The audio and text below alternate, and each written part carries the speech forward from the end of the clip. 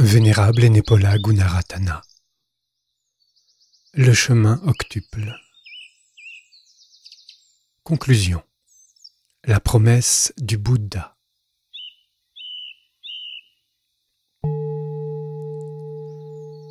La division du chemin du Bouddha en huit marches n'implique pas qu'il s'agisse d'une échelle verticale.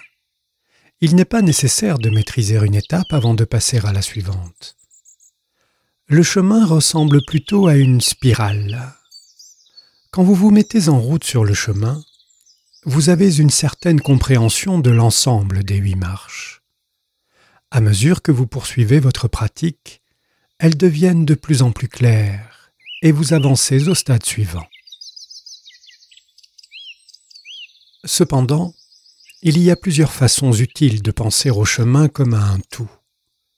D'abord, il est clair que l'avidité, la haine et l'illusion mensongère sont les trois facteurs malsains les plus puissants et la source de toutes sortes de souffrances. En opposition se trouvent les trois aspects les plus puissants du chemin, la compréhension juste de l'enseignement du Bouddha, l'effort juste pour surmonter l'avidité, la haine et l'illusion, et la pratique de l'attention juste comme moyen pour surmonter ces états. Ces trois facteurs, compréhension, effort et attention, s'épaulent mutuellement et travaillent ensemble pour vous faire avancer sur le chemin. Comprendre l'enseignement du Bouddha demande un effort il est certainement beaucoup plus facile de ne pas se donner de mal, de ne pas changer, de prendre simplement la vie comme allant de soi, et de continuer à vivre avec les schémas de pensée et de comportement qui sont devenus de confortables habitudes. Pourtant, le Bouddha a enseigné que tant que les gens ne comprennent pas la vérité, ils font semblant de ne pas avoir de problème, ou se désespèrent de ce que leur problème soit insoluble. Mais si vous en faites l'effort, vous comprendrez beaucoup de choses. L'attention peut aider. En fait, sans l'attention, vous ne comprendrez jamais rien. Vous pouvez faire des efforts, vous pouvez lutter, mais si vous n'avez pas l'attention, votre compréhension ne progressera jamais. Au moyen de l'attention, vous pourrez comprendre la vérité de l'insatisfaction, sa cause, sa cessation et le chemin menant à son extinction. De plus, quand vous pratiquez l'attention, vous faites l'effort de garder l'esprit sans avidité, sans haine et libre de l'illusion mensongère. Ainsi, pratiquer l'attention nécessite l'effort, et l'association de l'attention et de l'effort libère des compréhensions erronées. Les autres marches du chemin du Bouddha dépendent aussi de ces trois facteurs. La pensée juste, la parole juste, l'action juste, les moyens d'existence justes et la concentration juste ne peuvent être cultivés qu'avec le support de la compréhension, de l'effort et de l'attention. Sans la compréhension juste, vous ne comprendrez pas pourquoi il est important de travailler à améliorer ces autres aspects de votre vie. Sans l'effort juste, il vous sera impossible de progresser vers votre but de transformation positive. Et l'attention juste est l'outil suprême de conscience et d'attention qui vous aide à combattre vos négativités et à vous efforcer d'atteindre la perfection. Une autre façon de réfléchir à la manière dont les huit marches du chemin s'imbriquent les unes dans les autres est de les regrouper en trois ensembles. Moralité, concentration et sagesse, que l'on appelle aussi Shila, Samadhi Chaque ensemble vous pousse vers la pratique du suivant et vers une compréhension plus complète du chemin global. Comment cela fonctionne-t-il? Eh bien, le premier ensemble commence avec un certain degré de compréhension. Vous comprenez, par exemple, comment l'avidité entraîne l'insatisfaction. Aussi commencez-vous à pratiquer la générosité. Vous comprenez également comment la haine et la cruauté entraînent la souffrance pour vous et pour les autres. Aussi prenez-vous la décision de pratiquer l'amitié bienveillance et la compassion. Ces trois pensées, générosité, amitié bienveillance et compassion, sont des pensées justes. Il faut être sage pour cultiver ces pensées positives. Cette sagesse provient de la compréhension juste. C'est pourquoi la compréhension juste et la pensée juste sont regroupées dans l'aspect sagesse du chemin. Le deuxième ensemble se développe à partir du premier.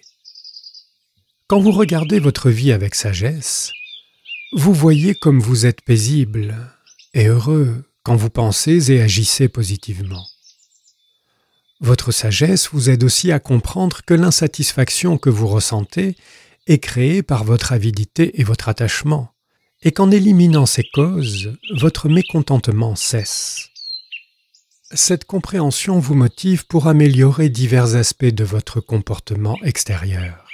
Étant donné que vous voyez que mensonges, paroles malveillantes, grossières et commérages sont des causes de souffrance, vous évitez ces formes de paroles négatives et prenez la résolution de parler poliment et utilement. Voyant combien de souffrances et d'insatisfaction sont causées par les meurtres, les vols, la boisson, l'inconduite sexuelle, vous évitez ces actions négatives. À la place, vous reconnaissez la valeur de la vie des autres êtres et cherchez à la protéger. Vous respectez la propriété des autres vous évitez l'alcool et avez un comportement sexuel responsable. Comme vous comprenez la souffrance causée par des moyens d'existence erronés, vous recherchez une façon saine de gagner votre vie pour servir de base à votre pratique spirituelle. Les changements extérieurs impliqués par la parole juste, l'action juste et les moyens d'existence juste sont regroupés dans l'aspect moralité du chemin. Le troisième aspect est fondé sur votre compréhension que les modifications extérieures seules ne mettront pas fin à votre insatisfaction et à votre souffrance. Vous voyez que les actions commencent par des pensées, et que les pensées malsaines elles-mêmes vous créent d'immenses souffrances. Par conséquent, vous essayez d'éduquer et de discipliner votre esprit. Quand vous commencez à l'observer, vous voyez que malgré vos bonnes intentions, des pensées néfastes d'avidité, de haine, des représentations mensongères et des doutes apparaissent de manière répétée dans votre conscience. De plus, vous voyez que la seule façon de combattre ces pièges mentaux est d'effectuer un effort sincère et diligent pour éviter les schémas de pensée négatifs, pour les surmonter quand ils apparaissent néanmoins, et de cultiver et maintenir des pensées positives. Vous voyez également que l'attention vigilante est essentielle pour une transformation positive, tant extérieure qu'intérieure. Développer l'attention n'est pas facile sans concentration, car c'est la concentration qui vous aide à voir les choses comme elles sont réellement. Ces trois facteurs, l'effort juste, l'attention juste et la concentration juste, sont regroupés dans l'aspect concentration du chemin. Ainsi, vous avancez un tour de spirale après l'autre en pratiquant les marches du chemin.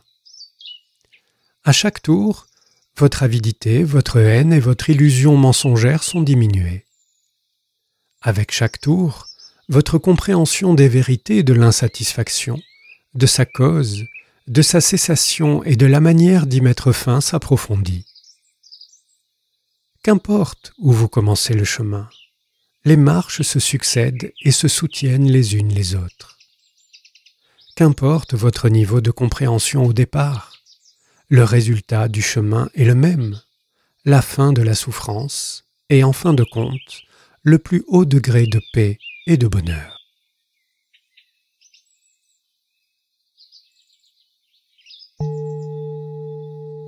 L'éveil. Certaines personnes tournent en ridicule l'idée de l'éveil. Sur Internet, dans les forums de discussion du Dhamma, j'ai observé que certaines personnes utilisent des termes désobligeants, même des paroles coléreuses et injurieuses pour décrire l'éveil. Peut-être comprennent-elles mal ce dont il s'agit. L'éveil n'est rien de moins que l'extinction de la douleur brûlante créée par l'avidité, la haine et l'illusion mensongère. C'est éteindre une fois pour toutes le feu de la naissance, de la croissance, du déclin, de la mort, du chagrin, des lamentations, de l'affliction et du désespoir. Ceux qui tournent l'éveil en dérision ont peut-être peur de se trouver sans raison de vivre, dans la froide obscurité du désespoir, une fois ce feu éteint. Peut-être confondent-ils ce douloureux feu intérieur avec le feu qui fit naître la civilisation ou celui de l'électricité. Mais quand le feu douloureux de l'illusion mensongère est éteint, ce n'est pas l'air glacial d'une noire nuit d'hiver qui prévaut, ce n'est pas un état sinistre, sans vie. Pas du tout.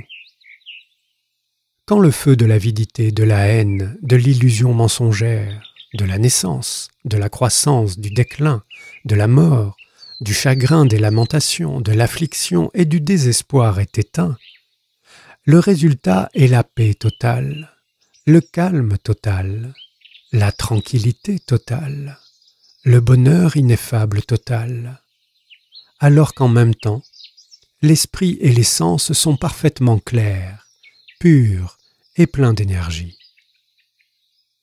L'éveil est lumière intérieure, intelligence intérieure, chaleur intérieure.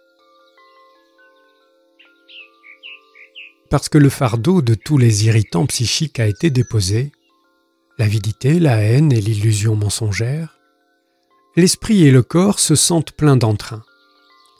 Nous ne sommes pas habitués à nous sentir si légers. Nous sommes habitués à avoir la tête lourde, le cœur lourd, le corps lourd. La perspective d'avoir un cœur si léger nous rend un peu nerveux. Nous avons peur que cette légèreté nous étourdisse. Notre lourdeur, notre souffrance sont si familières que nous avons peur d'être désorientés si nous lâchons prise. Quelque chose de ce genre est arrivé à l'un de mes amis. L'entreprise dans laquelle il travaillait le transféra dans un autre bureau et il emménagea dans un appartement situé près d'une gare de chemin de fer très active. Quand il s'installa dans son nouvel appartement, il ne put dormir pendant de nombreuses nuits à cause du bruit des trains et des foules de gens qui allaient et venaient. Quelques années plus tard, il fut transféré dans un autre bureau et fut de nouveau obligé de déménager. Son nouvel appartement était très tranquille. Une fois encore, pendant de nombreuses nuits, il ne put dormir. Il s'était tellement habitué au bruit et à l'agitation qu'il en avait réellement besoin pour se détendre et s'endormir.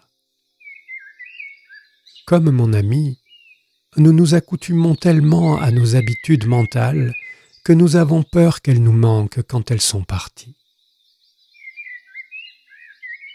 Notre situation me rappelle aussi un article que j'ai lu quand j'habitais à Washington, à propos d'un homme qui purgeait une condamnation à perpétuité pour un meurtre qu'il avait commis. En raison de sa bonne conduite, au bout de dix ans passés en prison, il eut la possibilité d'être mis en liberté conditionnelle. Un jour, un journaliste l'interviewa. Vous devez être très heureux de pouvoir être placé en liberté conditionnelle, lui dit le journaliste. Non, non, je vous en prie, ne parlez pas de liberté conditionnelle, répondit l'homme avec une certaine agitation. Il dit qu'il se sentait à l'aise en prison. Il y jouissait de certains privilèges, tels que regarder la télévision, et que la vie en prison ne comportait pas les dangers de la vie à l'extérieur. Mais alors, me suis-je demandé, s'était-il réellement habitué à la violence de la vie en prison, aux interdits sans fin, à la tyrannie exercée par les gardiens? Avait-il oublié la joie de vivre de l'autre côté des murs, la sensation de l'air frais, la beauté de la nature, la bonne cuisine et la liberté de rencontrer d'autres personnes libres S'était-il tellement attaché aux conditions à l'intérieur de la prison pour que la liberté lui paraisse étrange et sans attrait? Les gens qui tournent l'éveil en dérision sont comme cet homme en prison. Ils s'attachent à ce qu'ils ont. Ils ne veulent pas quitter le confort rassurant de leur inconfort, mais ils ne savent pas ce qu'ils perdent. L'éveil n'est pas quelque chose que vous désirez. C'est un état dans lequel vous finissez par vous trouver quand tous vos désirs cessent.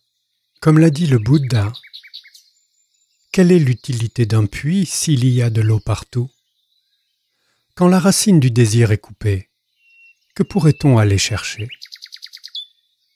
Quand vous savez que quelque chose vous manque, vous n'arrêtez pas de le chercher. Quand vous avez tout ce que vous avez toujours souhaité, vous ne cherchez plus. Comme vous avez atteint la paix parfaite, l'harmonie parfaite, vous êtes content de permettre à tous les autres de vivre en paix et en harmonie. À la fin du grand discours sur les quatre bases de l'attention, le Mahasatipatthana Sutta, le Bouddha a garanti que si une personne pratiquait la méditation de l'attention exactement de la manière prescrite, cette personne atteindrait l'éveil dans cette vie-ci. Et si elle n'était pas pleinement éveillée, en raison de quelques entraves subtiles la tirant en arrière, elle serait au moins quelqu'un qui ne revient pas, atteignant le troisième stade de l'illumination. Le Bouddha ne voulait pas laisser entendre que l'illumination puisse être atteinte par une personne qui ne pratiquerait qu'une partie limitée du chemin. L'illumination requiert que vous développiez complètement tous les aspects de la moralité, de la concentration et de la sagesse. Par ailleurs, en faisant cette promesse plutôt étonnante, le Bouddha ne voulait pas dire qu'une pratique occasionnelle désinvolte, de temps à autre, serait suffisante. Il voulait dire que pour parvenir à l'éveil, votre pratique doit être caractérisée par un engagement total, l'énergie et la persévérance. Pour que vous parveniez à la concentration, vos efforts doivent être soutenus par une moralité parfaitement claire. Votre concentration doit être saine et unifixée. Cette concentration puissante doit être cultivée avec une attention d'une égale puissance. Ensuite, avec le soutien d'une moralité pure et d'une concentration juste, la sagesse qui apporte la libération se produit. Malgré tout, certaines personnes pensent que les paroles du Bouddha constituent une promesse irréaliste. Je me demande sur quoi elles peuvent se fonder. Ressemble-t-elle à celui qui déteste avoir les pieds mouillés et qui doute que quelqu'un puisse nager aussi vite que les nageurs olympiques? Ou à celui qui n'a même jamais couru et qui doute qu'on puisse terminer un marathon de 40 kilomètres? Naturellement, la promesse du Bouddha doit paraître irréaliste à celui qui ne s'est jamais assis sur un coussin de méditation ou n'a jamais essayé d'observer le souffle pendant une minute. Et elle peut paraître creuse pour ceux qui se sont assis pour méditer pendant de nombreuses années, mais n'ont jamais pratiqué la totalité des huit marches comprenant la moralité, la concentration juste et la sagesse. La méditation demande une discipline sincère. Vous entreprenez la discipline de la méditation non pour impressionner qui que ce soit, mais pour libérer votre esprit de la souffrance causée par vos propres négativités. Si vous abordez le chemin du Bouddha comme un passe-temps ou un jeu, vous n'arriverez à rien. Les huit marches du message du Bouddha ne sont pas quelque chose à apprendre et à mettre ensuite en pratique lorsque vous en avez besoin. En y repensant, vous utilisez bien les huit marches seulement quand vous en avez besoin. Or, vous en avez besoin à chaque instant de votre vie. Votre attention aux huit marches du chemin, cependant, n'a pas besoin d'être parfaite pour commencer la pratique. Si elle a des failles, ne vous inquiétez pas. Soyez simplement attentif au manque d'attention, aussitôt que vous le pouvez. Au début du chemin, votre succès repose sur le fait que vous mainteniez une forte intention d'être continuellement attentif, et non pas sur votre capacité réelle de le faire. À mesure que vous persévérez, vous rappelant sans cesse d'être attentif, vos trous deviennent de moins en moins nombreux, jusqu'à ce que votre mise en œuvre du chemin devienne automatique. Si vous effectuez ce genre d'effort, vous progresserez rapidement, tel cet étudiant auquel pensait le Bouddha quand il fit sa promesse.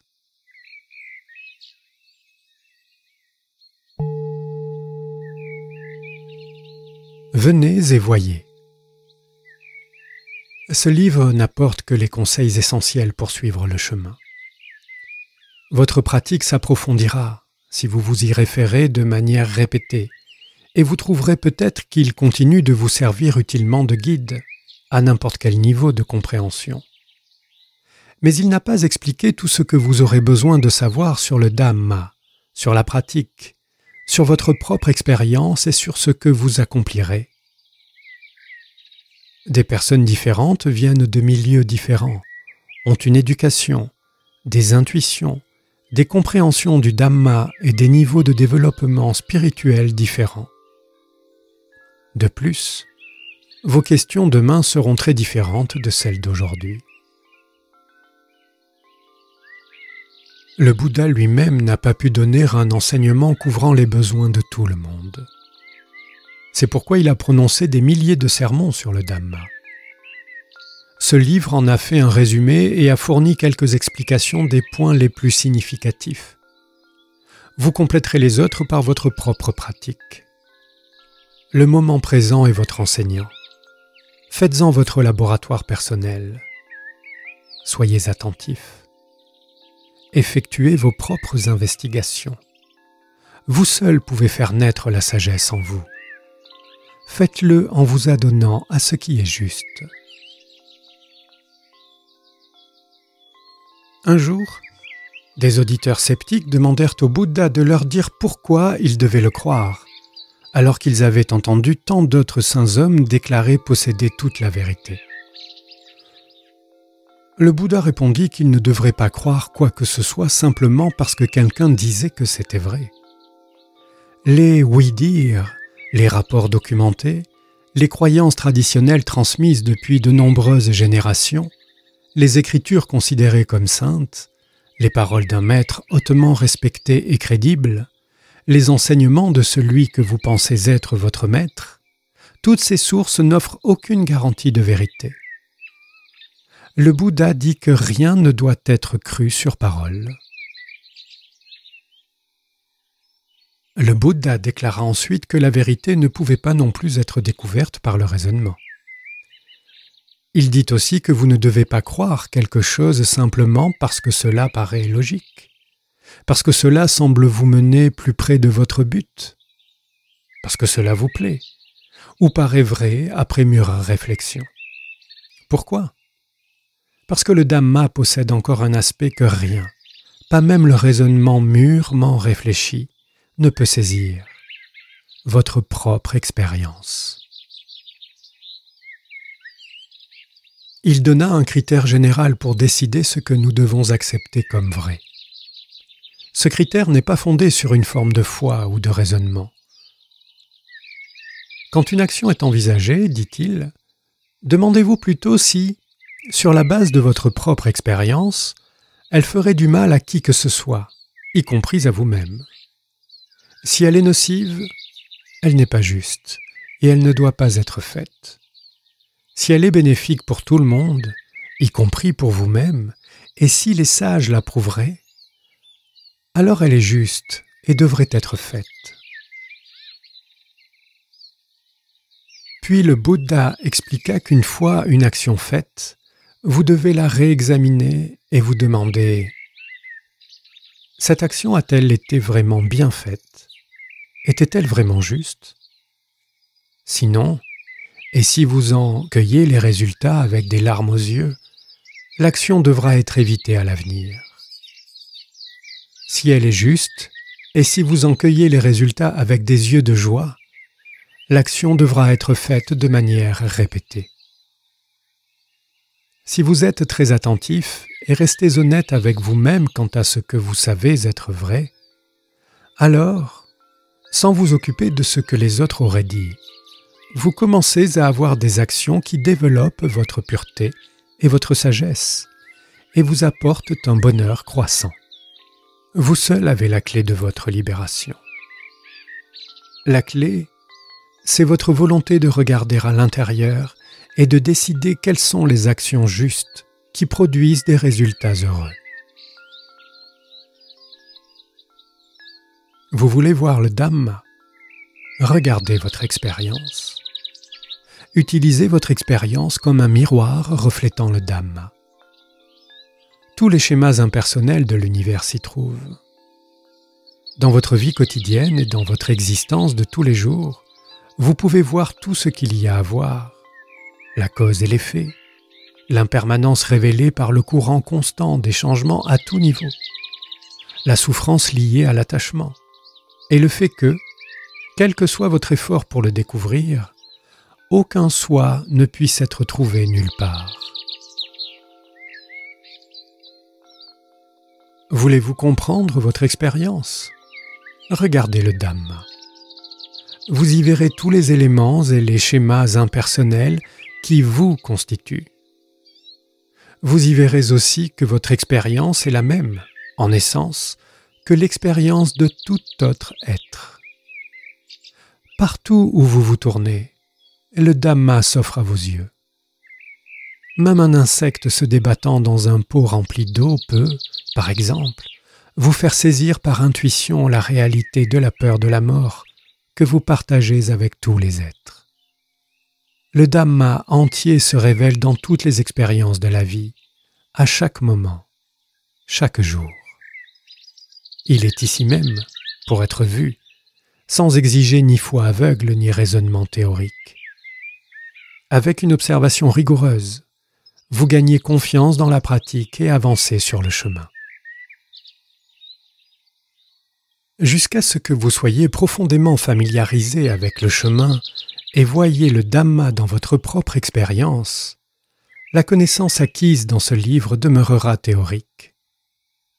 Si je pointais le doigt en direction de l'étoile polaire, vous pourriez me regarder avec surprise et vous demander Pourquoi est-ce qu'il pointe son doigt comme cela? Ne devrait-il pas le pointer par ici, ou peut-être par là? Comment expliqueriez-vous une étoile à quelqu'un qui, la nuit, n'a jamais regardé en l'air? Jusqu'à ce que vous ayez suffisamment levé la tête pour être capable de voir les étoiles, et ensuite suivi les instructions pour examiner le ciel jusqu'à ce que vous parveniez à repérer l'étoile polaire, le doute demeurera dans votre esprit ce doute fait naître toutes sortes de questions. Mais lorsque vous parvenez à voir l'étoile polaire et observez comment tout tourne autour d'elle, alors vous n'avez plus de doute. De même, jusqu'à ce que vous ayez entrevu le but, vous aurez de nombreuses questions concernant le chemin, à propos de votre pratique et sur ce que j'ai dit dans ce livre. Comment les mots peuvent-ils expliquer à quoi ressemble le nibbana, étant donné que le nibbana est au-delà de l'expérience? L'expérience se produit à travers nos sens, et toutes les appellations que nous pouvons utiliser pour décrire des états au-delà de l'expérience seraient trompeuses, car elles sont fondées sur l'expérience sensorielle. Nous avons simplement à suivre les marches du chemin jusqu'au bout et voir par nous-mêmes. N'avez-vous jamais essayé de pointer une chose du doigt pour qu'un chat la regarde? Plus vous pointez le doigt, plus le chat veut le renifler. Le chat ne regardera jamais au-delà du doigt. Si vous terminez ce livre et dites Est-ce tout? Mais où est la vérité ultime? Je n'ai rien retiré de tout cela. Eh bien, vous êtes comme le chat. Regardez au-delà des mots. Utilisez le type d'action suggéré par le Bouddha pour vous propulser dans une autre façon de comprendre. Marchez sur le chemin par vous-même. Ce chemin se déploie à travers toutes les expériences de la vie, au fur et à mesure que vous progressez en pensée, en parole et en action.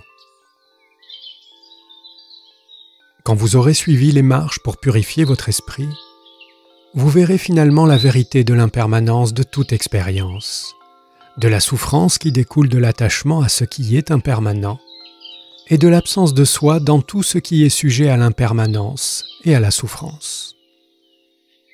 Vous verrez comment l'avidité assure la pérennité de toute l'expérience douloureuse. À ce moment-là, vous voyez par vous-même et toutes vos questions cessent.